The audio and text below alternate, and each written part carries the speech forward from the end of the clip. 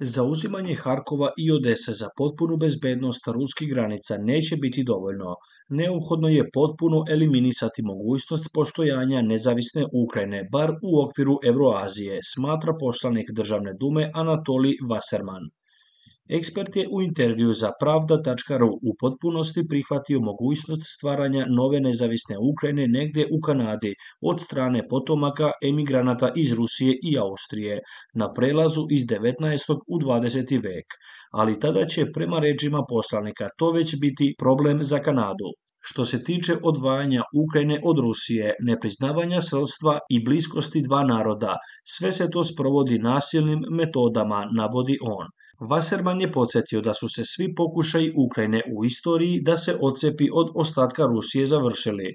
Prvo teretom nad samim stanovnicima odvojenih teritorija, a drugo agresijom na samu Rusiju. Zbog toga je jednostavno neprihvatljivo postojanje teritorije koja ispoveda poljski lažni slogan Ukrajina nije Rusija, zaključio je on.